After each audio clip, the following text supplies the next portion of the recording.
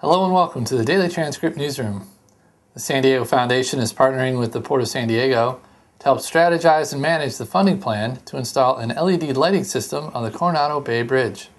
Also, Halozyme Therapeutics said Friday it has reached an agreement with Pfizer to develop injectable versions of the drug maker's biotech drugs. And construction is set to begin early next year on the roughly 83 acre La Costa Town Square mixed use development to transform the junction of Rancho Santa Fe Road and La Costa Avenue from dirt into a walkable Carlsbad neighborhood. In Washington this week, Standard & Poor's releases the S&P Case-Shiller Index for home prices for October. The Labor Department releases weekly jobless claims. Freddie Mac releases weekly mortgage rates. The Commerce Department releases new home sales for November. The Conference Board releases the Consumer Confidence Index for December and the National Association of Realtors releases a pending home sales index for November.